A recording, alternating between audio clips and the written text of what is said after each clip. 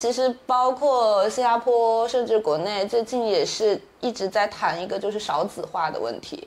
哦，所以整个国家的人数是在减少的，但是东西又在增多。欢迎大家来到频道，今天我们的嘉宾呢是杜瑶。嗯杜瑶 Hello，大家好。呀，杜瑶嗯是一个来新加坡十八年年，嗯嗯嗯哪里人啊？福江苏连云港，你为什么要选择来新加坡呢？这么多的的国家，就其实不算是我自己的选择，就是刚好有一个机会他来了。哦，嗯，因为那时候就是呃，政府有一个奖学金的项目，嗯。啊，然后也算是蛮神奇的，因为江苏你知道 散装江苏嘛，然后大部分的机会都是给到好像南京啊、苏州啊、苏南这些，像连云港、苏北的城市机会不是特别多。嗯像我可能我前面四五届才有名额。然后我这届之后又好像过了四五届才有名额，哦就刚好有这个名额等。嗯那有些人可能他们拿了奖学金，上了学，然后可能又跳板跳到其他的地方，那你为什么选择要留下来呢？我觉得一切都是机缘巧合，因为在那个那个时候的状态下，就是还蛮随遇而安的。毕业了，然后而且我们又有六年的帮，反正都要 serve 帮，就就在新加坡工作，对。然后工作的过程中认识了我先生，嗯，一切就水到渠成，然后就买屋子啊，然后有孩子啊，那你来到新加坡之后，刚开始的时候有没有遇到不适应的地方呢？还好，因为我们当时奖学金就是一整个项目一起来很多个人，嗯，然后我们有二十个月的 bridging course，哇，挺长的。然后这二十个月的时间，就我们那三百个人，有 NUS 一百五十个，有 NTU 一百五十个，然后大家都住在一个宿舍里，也有点像那种国内的大学生活，因为就宿舍啊，然后大家都是年纪差不多的小朋友，然后一起玩呐、就就觉得还好。以前你是读的是什么？Mechanical engineering，对啊，很理工的，对对对但是现在是一个哎，收纳收纳师啊，嗯对对对对。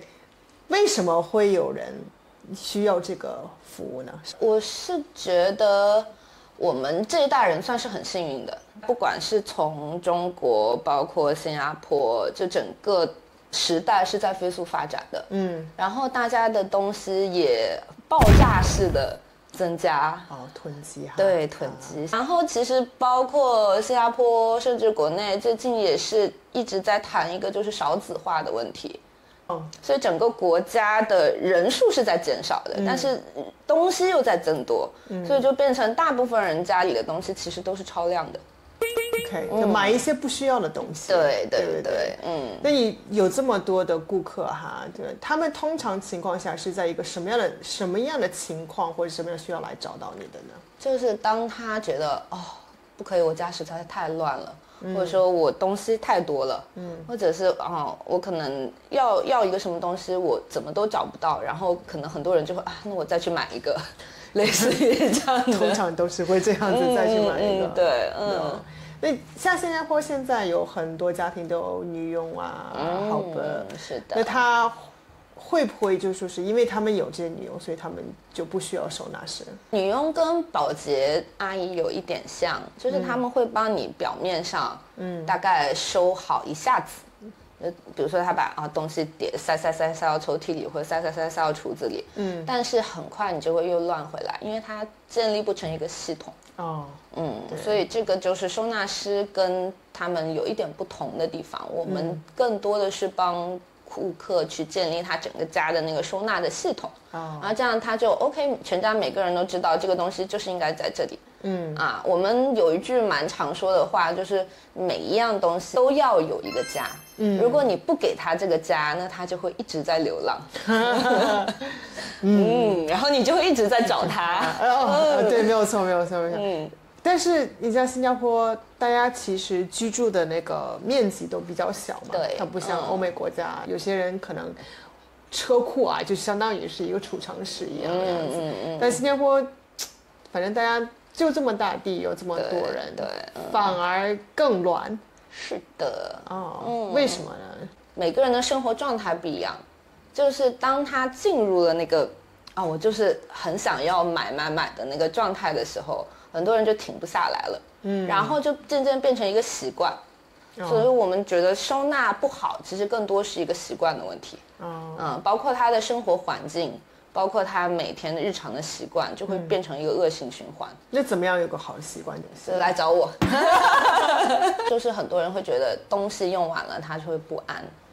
哦，我就是我有见过那种客户，他家呃一整个柜子，嗯，里面全部都是纸巾。哦，需要那么多吗？对，他就说哦，这个这个牌子很好用，新加坡没有的卖，所以我每次海运都会买很多。OK 啊，然后我就说，嗯，这个是什么时候买的？哦，去年双十一，然后我当时可能已经第二年的五六月份了，哦他还有一整个柜子在那边，因为就会有的东西他就会觉得，哎，这个东西我是不是不买多一点，那我用完了再买不到怎么办？嗯嗯，其实就是买东西的时候自己心里想一下，大概这些东西够我用多久，嗯就找到你自己舒服的那个度。嗯嗯，因为疫情的时候，确实是有一段时间，大家会进入那种啊，真的什么都买不到。哦，那个脱口秀不是还有有那个很好笑的段子，说谁能想到有一天买菜真的是要靠拆盲盒的，就是给我一个葱，给我一个葱。耶耶耶对对对对，就就会有很多人去思考，但是现在我觉得那个特殊的时期其实过去了。嗯，我有时候就会问我的一些客户，比如说或者是我们有那种群聊，大家聊到也会说，你囤这么多东西，你家房子好贵的呀。哦对，因为每个东西都要占地方。对，因为这么贵的房子，像新加坡的屋子也不便宜，虽然可能有的人住祖屋，有的人住公寓，但是房价也不便宜。对对，你把那么贵的房子去拿来当仓库，嗯，那你不如让商家用好他们自己的仓库就好了。就不要去买那个东西。对对对，就让门口的便利店变成你们家的仓库。对，嗯，哦，有些人可能他会觉得说是，哎，减价我多买一些，我嗯可能两三个月我就省到了。其实这种想法正确吗？depends，嗯就是如果说你花了那个，你省了那个减价的钱，而且它真的是你很常用的东西，比如说，哎，这个酱油两瓶，呃，什么搞活动。对，两瓶多少省了两块钱 off，类似这样子的。对那我也会买啊。嗯。但是买了之后，就是这个东西在我家可能一个月之内就会用掉了。嗯那就 OK。，OK，嗯只要他不要囤这样子。对，就回到那个说你要找到合适你自己的量。但我爸今天回来才刚刚在说，哦，生松的菜都在 buy one get one free。多买一点。对。然后我就说，嗯可是冰箱里有的菜已经要烂了呀。对哈，没有错，没有错。对。那你这么多客户里面有没有一种很离谱的？我上课经常讲的一个例子就是，OK，我先卖个关子，你猜我在我在他家发现了几包那种洗衣液的补充装？肯定是一定很夸张的数字啊，五十个。那那倒是没有，嗯嗯嗯，嗯，多少个？他家有十包洗，哎就就是是那种洗衣液哦一一包一包的那种补充装，干嘛？就他买的时候也就忘记了。哦，嗯，然后 OK，通常他家是这个情况，就是他他有一个洗衣区，嗯。然后他的浴室就是他小朋友的衣服，他通常会放在那边手洗，嗯。所以这两个地方每个地方放一包在用的跟一包备用的，也就 OK 了，嗯。啊，就是四包，这个我你你用完一袋。OK，你就再去 top up 一袋，然后它东西就可以一直循环起来。嗯。然后我去的时候，它是呃，厨房的水池下面又翻出来了两袋，嗯嗯，然后我就说，哎，这个为什么放在厨房？因为其他都是那种可能洗碗的呀，那些其他清洁用品。他就哦，可能女佣女佣不认识，他就放错了，嗯，所以这个多出来两袋，就六袋了。然后后来走走走走到储藏室，然后又发现，哎，那边还有四袋在那边。哦，然后我就说，哎，这个是哪里来的？他说，嗯，我也不记得了。然后再看那个日期，都已经快过期了。哦，可能买了之后放那边忘记了。对对，就因为你东西不给它固定位置的话，就买回来就塞到储藏室。储藏室是一个很很可怕的无底洞，对什么都找不见。嗯，就放进去了，大家也都不知道啊。然后因为它空间又很大，如果它没有做架子或者分类分得很好的话，真的就是无底洞。哦，嗯嗯嗯那有时候有些人可能囤，是不是有一个心理上的一个需要啊？嗯，是的，就是呃安全感。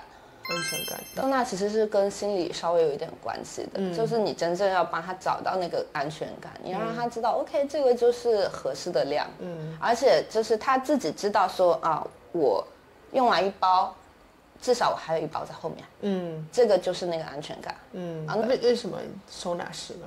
在我有了第一个小朋友之后，嗯，然后就东西就大爆炸，呀呀，都是这样子。的，是的，嗯，然后就就我就觉得不行，不能这样子，嗯，然后也是快过年的那个时候。然后正好我在上海上课的那个收纳王子那个平台，他有做一些网课，嗯，就是说哦，过年期间你要怎么大扫除做，我就觉得哎，这个东西蛮有意思的，嗯，然后后来就发现说他们还有线下课，还还可以考证啊，可以一级一级往上学这样子。嗯，然后那时候疫情之前飞回国也很方便嘛。嗯嗯，对，然后就就飞飞去上课，就正好就是见见朋友啊。嗯，对。他有没有些朋友就不敢带你去家里 面？倒是没有。我有那种朋友跟我说：“你什么时候回来啊？你要不我给你报销飞机票，你回来帮我收一下。”哦呀呀呀呀！那。你在你看有呃职业的转折啊，然后从以前是 mechanical engineer，现在变成老师，在这么多不确定的在情况下或者转折的话，你如果遇到像困难或者挫折的话，你是怎么样面对的？就是冲过去，冲过去。我的整个人是算是蛮有行动力的这么一个人，嗯，就是有困难的话，那就去解决它，嗯。嗯嗯嗯。好像我最近的一个困难就是小红书一直在限流我。哦，限流你对，就觉得哎，我也是小红书，对，那就可能年后就在考虑说要转型，可能说哎，他我之前是前两年做图文做的还不错，嗯，那。今年可能图文好像不太好，视频流量会更好一点，那我就要多向你取取经。没有问题，没有问题，一定会，嗯嗯，一定会有分享，一定会。呃，办法总比问题多啦。那有没有遇到过真的是走不出来的时候呢？比较比较低谷的时候，因为我的性格算是蛮 open 的，然后算是蛮大条的那种性格，嗯嗯，对，所以。有不开心的事情，可能睡觉或者躺在床上刷几个小时的抖音，整个放空 就可以。嗯，所以你不会有那个压力嘛？对，就就第二天就重新振作啊。哦，那很明显，你在你在做小红书，然后在做一些呃社交媒体呢，你是在创造一个你自己的一个个人品牌。对。那你觉得在你这个经验中呢？你觉得一个成功的？的个人品牌应该是一个什么样子的？嗯，我觉得首先就是要人设要做好，就是人设不光是一个所谓虚假的东西，你首先要是你自己，嗯，然后你才能让别人去认同你。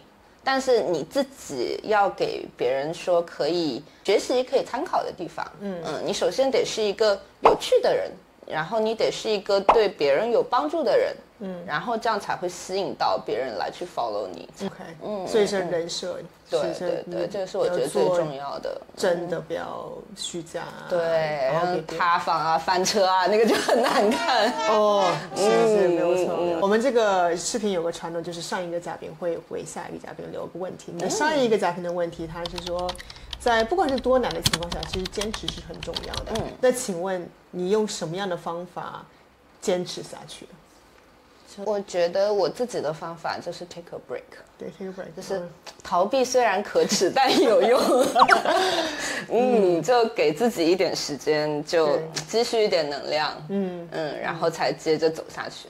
有些人可能他们会觉得说，OK，我坚持到一个大概一个一点，就说明这条路也许不适合我。